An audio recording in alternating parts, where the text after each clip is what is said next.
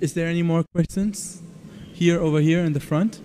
I wanted to know about the Kaaba. I had a uh, question about the Kaaba.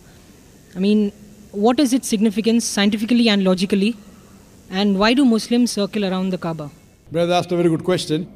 That what is the significance of Kaaba scientifically, logically, and why do Muslims circumambulate around the Kaaba? Now, many non-Muslims think that we Muslims worship the Kaaba. It is? That's wrong. Correct. I'll give that answer and even come to a scientific answer.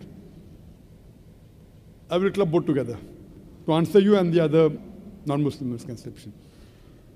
The thing is that Kaaba is the Qibla. The Quran says in Surah Baqarah chapter number 2, verse number 144, that wherever you are, pray in the direction of the Kaaba. In Arabic, direction means Qibla. So Kaaba is only for direction. For example, today if you have to pray here, some will say less face south, some will say north, some will say east, some will say west. Do you face? So for unity, we face towards one direction, Kaaba. So Kaaba is our Qibla. No Muslim ever worships the Kaaba. And when the world map of geography was drawn the first time, it was the Muslims who do the world map first. It was Al-Idrisi in the year 1154 who do the world map. And when the Muslims do the world map, they had South Pole on top, North Pole down, and the Kaaba in the center. Later on, the Western cartographers came and they turned the map upside down, North Pole top, South Pole down, yet the Kaaba is in the center. So whichever part of the world you are, if you are staying in the north, you face towards the south. If you are in the east, you face towards the west. If you are in the west, you face towards the east. If you are in the south, you face towards the north.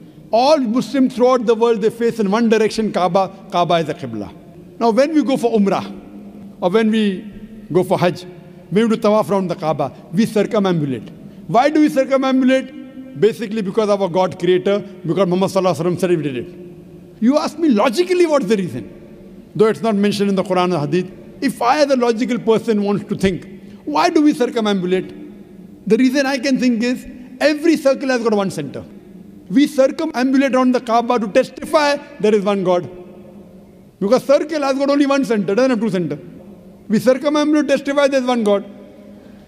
And the statement of Hazrat Umar, may Allah be pleased with him, the second Khalifa of Islam, which is mentioned in Sahih Bukhari, volume number 2, in the book of Hajj, chapter number 56, hadith number 675. The second Caliph of Islam, Hazrat Umar said, This black stone, pointing at the Hajar Aswad, the black stone in the Kaaba, this black stone can neither benefit me, can neither harm me. I'm kissing it only because my Prophet kissed it. This statement proves that no Muslim ever worships the Kaaba.